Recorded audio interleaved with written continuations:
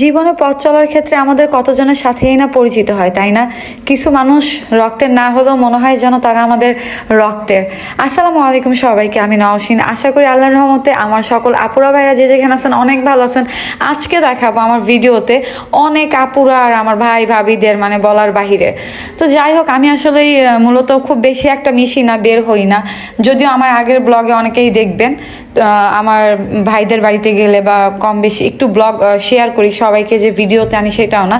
তো পথ চলার ক্ষেত্রে কিছু আপুদের এত ভালোবাসা পাই, বড় আপু হোক, ছোট আপু হোক মানে তাদের ভালোবাসা না, আমার মন ভালো হয়ে যায়। আর কিছু সময়ের জন্য আলহামদুলিল্লাহ আমার মনটা অনেক ভালো হয়ে গেছে। দেখতেই পারতেছেন কত কত আপুরা, তারপর আন্টিরা ছিল। মাসাল্লাহ মানে বলে বোঝাতে পারব না। অনেকটা ভালো সময় কাটছে সবার সাথে। তো যদিও রমজান মাস, আর সত্যি বলতে হচ্ছে হুটহাট করে বাসা থেকে বের হয়ে যাওয়া, আমার এক ভাই, উনি দেশের বাইরে চলে যাবেন, তাকে দেখতে যাওয়ার জন্যই যাওয়া। কারণ খারাপ সময় যারা আপনার পাশে থাকবে, তারাই আপনার সব থেকে বেশি আপনজন। আমি আমার খারাপ সময় মানে বিনা স্বার্থে অনেক মানুষের সাপোর্ট পাইছি। মানে যেটা আমি কখনো আশা করি না। যাই হোক, এই যে ভিডিওতে যে আপদের দেখতে পাচ্ছেন, এই আপদের পায়ে তো আমার মন ভালো হয়ে গেছে। আর মাসাল্লাহ সবাই দেখতে এত সুন্দর। আর সবাই হচ্ছে এত মিশুক টাইপের, সবার বিহেভ এত ভালো। মানে খুব ভালো লাগছে আমার সময়টা। যদি রোজার মাস না হইতো, আমি আসলে অনেকটা সময় পার করে আসতাম। এই যে আমার ছোটো বোন এনজয় করতেছিল, অনেক কিউট কিউট বাবুরাও ছিল। তো, আপুরা অনেক জোরাজোরি করছে থাকার জন্য, তো ইনশাল্লাহ ভাবছি যে পরে একটা সময় হুট করে আপুদের সাথে দেখা করে আসব। তো যাই হোক পরে হচ্ছে ভাবিদের বাসায় যাচ্ছিলাম। আবার কিছু আপুদের সাথে দেখা। আর এই যে পিচ্ছি বাচ্চারা, ওরা আমাকে দেখে চিনে ফেলছে। তো আমি ভিডিও মেক করতেছিলাম, লজ্জা পেতেছিল আর একটা আপু টানাটানি লেগে গেছে। আপু আসেন, আপনি কি রোজা আসেন কি না ইফতার করে যান। মানে কোথায় আমি যাব আমি নিজেও বুঝতে পারতেছিলাম না। আপনাদের সবার এত ভালোবাসা যে আমি পাবো, এটা কল্পনার বাইরে। তো এই যে হচ্ছে আমার ভাই কামরুল ভাই আর হচ্ছে রানা ভাই যে চলে যাবে, পাঞ্জাবি পরা ভাইটা উনি দেশের বাইরে চলে যাচ্ছে ভাইয়া।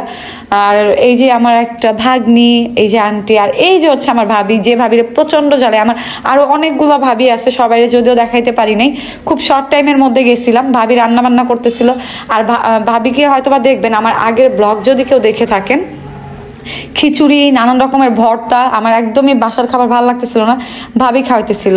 তো এই পার্সন মানুষগুলা আমার খারাপ সময় এত পরিমাণ সাপোর্ট দিছে, আমি সত্যি চির ঋণী তাদের কাছে। মানে বলার বাইরে আর এটা হচ্ছে ভাইয়ের বাড়িতে চলে আসছি আর ভাবিকে জ্বালানোর জন্য। ননদদের কাজই তো হচ্ছে ভাবিদের জ্বালানো, তাই না? তো আমার ভাবির আবার এত রাগ হয় না মানে কি বলব? আর এই যে ভাগ্নি, আর এই যে হচ্ছে ভাইয়ের, এই যে যে ভাগ্নিটা আল্লাহ ওর মাকে, আগের ভিডিওতে দেখবেন মাসাল্লাহ এখন অনেক কিউট হয়েছে মামিকেই মা ডাকে, মামি মানে ভাবি আর কি আর কি ওকে দেখে রাখে। ওর মা দুনিয়া থেকে চলে গেছে মানে প্রায়, এই তো এক বছরের মতো হয়ে গেছে। তো এখন মাসাল্লাহ অনেক কিউট হয়েছে। যারা আমার আগের ব্লগ দেখছেন, তারা চিনবেন। তো এখন ও মানে ভাই দেখাশোনা করে, যেহেতু বোন নাই, একটাই মেয়ে। তো মানে ভাবির কাছে থাকে, ভাবিকে মা বলে ডাকে। আর মাসাল্লাহ আগের থেকে অনেক কিউট হয়েছে আর এই যে আমার ভাতিজা, ও তো করলে উঠবেই আর ওর মন এত বড়। মানে কি বলব? ওর হচ্ছে, ভাইয়া হচ্ছে অনেকগুলো কবুতর, তারপর হাঁস, মুরগি, এগুলা পালে। তো কোয়েল পাখি। পর আমি বলতেছিলাম, এই যে এইখানে, আমি দেখাচ্ছি কবুতরগুলা। তারপর আমি বলতেছিলাম, বাবা, আমাকে কোনটা দিবে? এখন দুজনই আমার কোলে উঠবে, বাচ্চারা আমাকে একটু বেশি লাইক করে। আমি কেন জানি না। তো দুজনে কোলে উঠছে, ওঠার পরে হচ্ছে আমি আবার বলতেছিলাম যে আমাকে খরগোশ বা হাঁস মুরগি কোনটা দিবা? তো আমার ভাতিজা বলতেছিল, খরগোশ, ফুপি খরগোশ।